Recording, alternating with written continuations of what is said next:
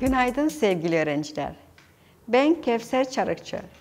Priştine Elenacika İlkokulu'nda 5. sınıflara ders vermekteyim. Bugün dersimiz matematik. Konu de, desimetre kare.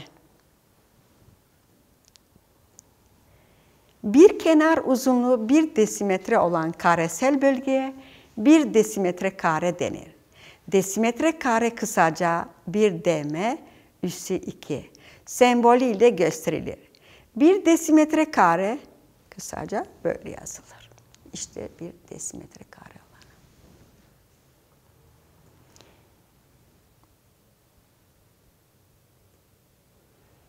Metre kare ve desimetre kare. Bir sırada 10 desimetre kare vardır. 10 sırada 10'er desimetre kare eşittir 100 desimetre kare. 1 metre kare eşittir 100 desimetre kare.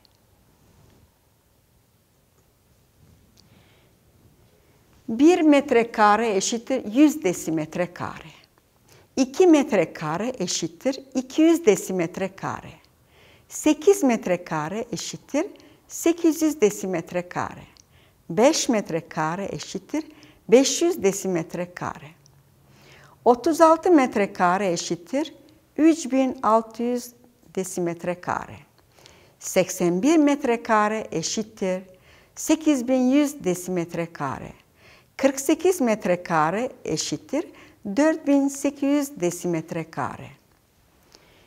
Şimdi 100 desimetre eşittir 1 metre kare. 300 desimetre kare eşittir 3 metre kareye.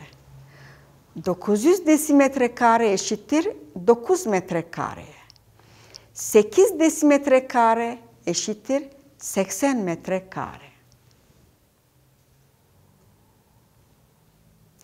Ev ödevi kitap sayfa 115'te 4 numaralı ödevleri yapınız.